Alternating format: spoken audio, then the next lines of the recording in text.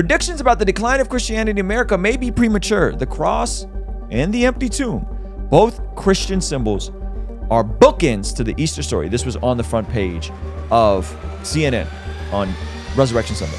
Ruslan. This is an interesting topic that I saw on the front page of CNN. The demise of Christianity, which I know a lot of people would love, could be a premature prediction? This is on the front page of CNN, guys. I was shocked. Shocked to see CNN care so much about God. Check out what they said. Predictions about the decline of Christianity in America may be premature. The cross and the empty tomb, both Christian symbols, are bookends to the Easter story. This was on the front page of CNN on Resurrection Sunday, Easter Sunday. One symbolizes the tragic execution of Jesus, while the other represents the Christian belief in his resurrection and the claim that death does not have the final word on him or his followers. As millions of Americans celebrate the holiest day in the Christian calendar on Sunday, most will hear variations of the Easter message, finding new life in unforeseen places. But that message could also describe a surprising prediction about the future of Christianity in the U.S. For years, church leaders and commentators have warned that Christianity is dying in America. A claim, isn't it? That's what they would want you to know. What my man KB said, they said millennials are living God. My, they say millennials are leaving God. I smiled and told him you really should get to know the squad. Shout out to KB, man. That's the homie. All right. They say the American church is poised to follow the path of churches in Western Europe, soaring Gothic cathedrals with empty pews, shuttered church buildings converted into skate parks and nightclubs, and a secularized society where one theologian said Christianity as a norm is probably gone for good, or at least for the next hundred years. Wow. Yet, when CNN asked some of the nation's top religion scholars and historians recently about the future of Christianity in the U.S., they had a different message. You don't say. Rumors of my demise have been greatly exaggerated. That's a fact. Oh, man. They said the American church is poised to find new life for one major reason waves of Christians are migrating to the U.S.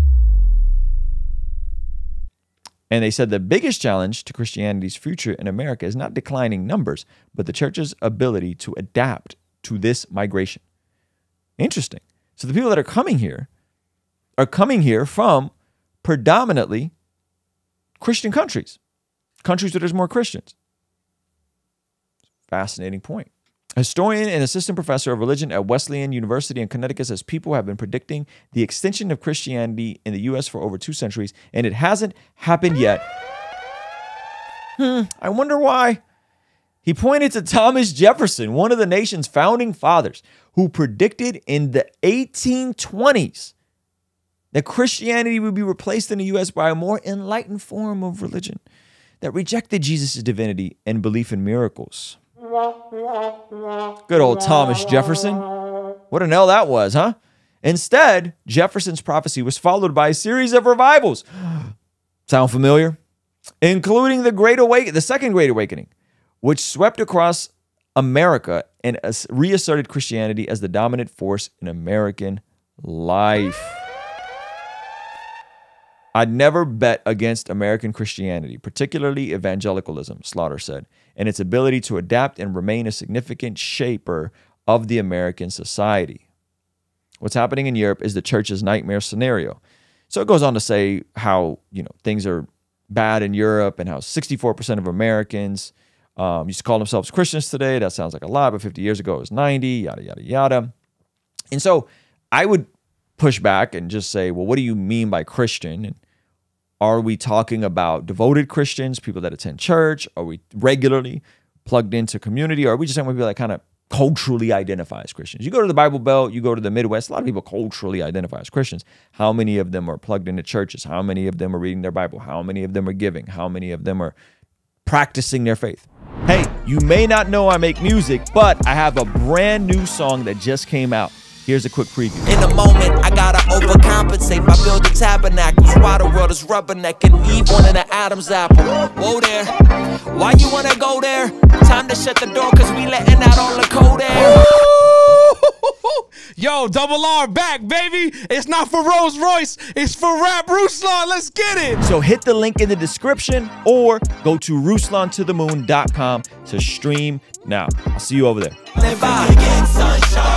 Why you wanna go there? Living for the approval of man will get you nowhere. I don't know how much those numbers have declined, but I think it's a bit premature to try to say Christianity is on its way out. Now, I think whenever there's darkness, a little bit of light shines brighter. And I think whenever there's a time where people are confused, those are huge opportunities for us.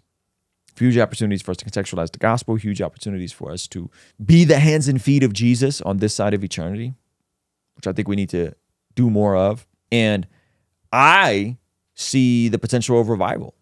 I see the potential of maybe not more Sunday morning services being full, but seeing more people who are devoted to their faith and practicing it consistent, consistently and regularly. I could see that. I don't know what that means though, in terms of are we going to have the coolest, most booming church services? You, you understand what I mean? And so I think there's, you know, pros and cons. I do believe from just sheer numbers and analytics that people are hearing about Jesus more than ever because of the internet, which I think is amazing. Because of the internet, it's way more people engaging in content about Jesus and hearing about him. Can that usher in a revival that's felt on a transformative sense? Well, that would be my hope. Hey, you want to see something crazy? Over 51% of the people who watch this channel are not subscribed. And the ones that are subscribed, only 10% have their bell notification on. So do me a favor, please hit that subscribe button, turn the bell notification on so you don't miss anything we have going here. All right? I appreciate you. My hope would be that this gospel would transform us from the inside out to the point where culture shifts.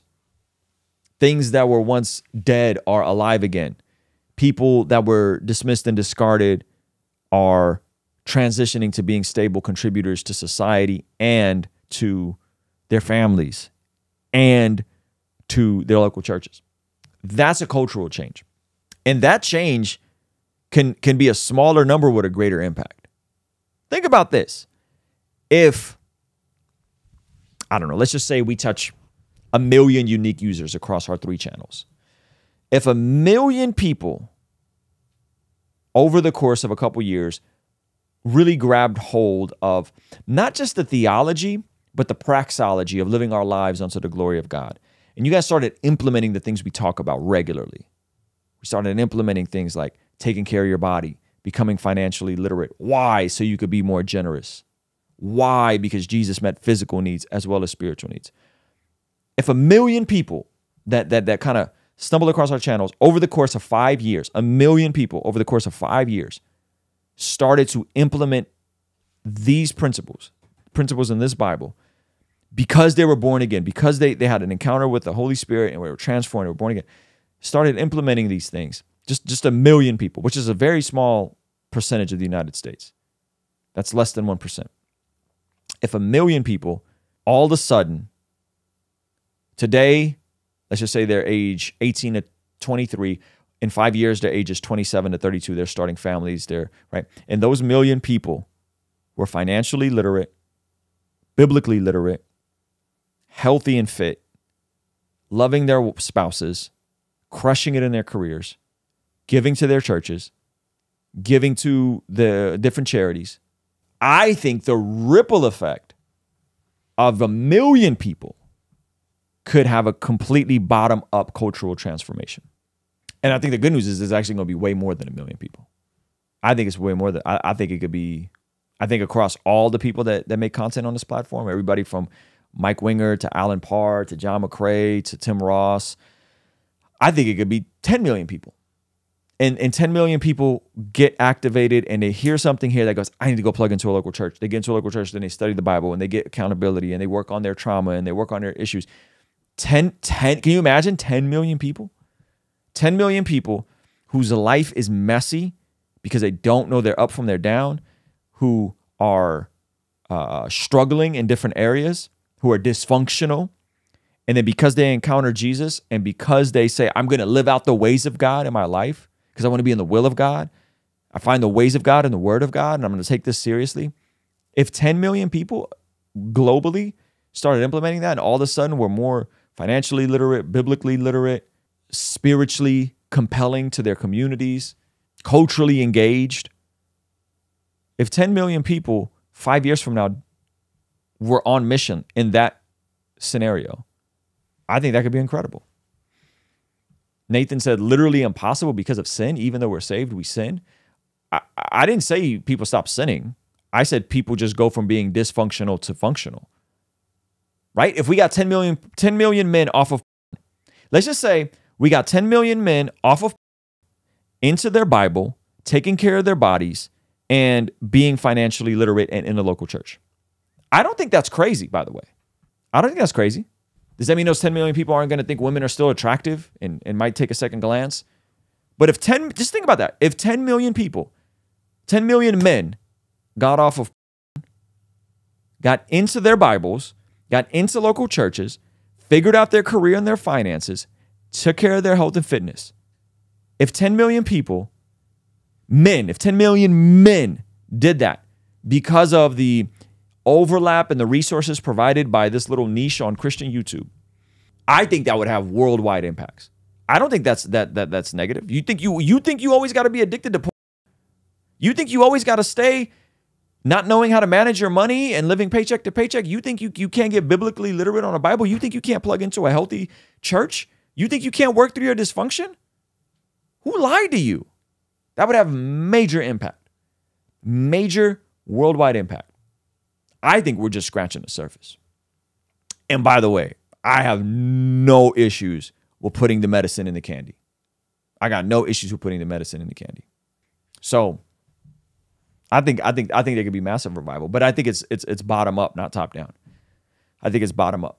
I think out of those 10 million people, some of them are going to go on to start businesses. Some of them are going to go into entertainment. Others are going to go into the private sector. Others are going to go into tech. Others are going to go into medicine. Others are going to go into government. Why? How are you different? Most Christians I know just get saved and they have their health insurance. They don't serve in their communities. They don't become healthy and fit. They don't, right? What is different? What is different? How, you know, got plugged into this community and made this stuff just started clicking more and just things changed for me. I don't know. I, I started thinking about experiencing the kingdom of heaven on this side of eternity too. I don't know, man. I, th- I think it's way more feasible, and I think we're just I think we're just starting to scratch the surface. I think we're just starting to scratch the surface. Hey, this clip is from our daily after party stream. If you enjoyed it, consider signing up for our Patreon community for only $5 a month, where you get access to the replays of our daily after party streams, as well as the uncut extended versions of our podcast, Discord access that's private, and a discount code for our merch store. Only $5 a month. And ultimately, it's the best way to help us contextualize the gospel of Jesus using media, podcasting, and of course, YouTube. The link for that is in the description or in the pinned comment. The perks are amazing. You should get on there. It's only $5 a month. I'll see you over there, all right? Peace.